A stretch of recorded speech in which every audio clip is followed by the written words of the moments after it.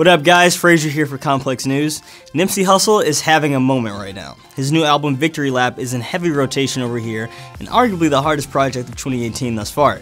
This fellow Angeleno YG is hot on his heels too with his scorching new single, Suu Whoop. The only thing more exciting than the fire new Nipsey album in the here and now and a new YG project on the horizon? How about the prospect of a collab album? Now, if you reacted to that with a yeah right, that's understandable. Nip and YG first floated the prospect of linking up way back in 2013 after all. But in a new interview with Billboard, Nipsey made sure to reaffirm that the idea is definitely still in play. The idea is definitely not dead. Life happens. He got a solo career and I got a solo career. He got a kid and I got kids. That's something the West wants and we're gonna do it and we're gonna call it America's Most Wanted. But if you need more reassurance that this is something they're taking seriously, Nipsey confirmed past collabs of theirs like, say, the highly relatable anthem Donald Trump was actually born out of sessions for their joint project. FDT was for the YG and Nip Hussle album, and you heard how crazy that came out. He put that one on the album and was like, that, I'm done. And I understand that.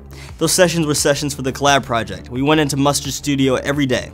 Young Thug came through. A lot of songs that wound up on different projects happened in there. Now obviously this isn't coming anytime in the immediate future.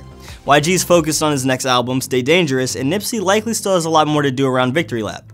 But it's very reassuring to know America's Most Wanted is still at the forefront of their minds. With Nipsey, YG, and the Kendrick spearheaded Black Panther album, the West is incredibly strong right now. That's news for now, but for the latest on Nip and or YG, subscribe to Complex News on YouTube. Until then, I'm gonna keep last time that I checked on repeat. For Complex, I'm Frazier.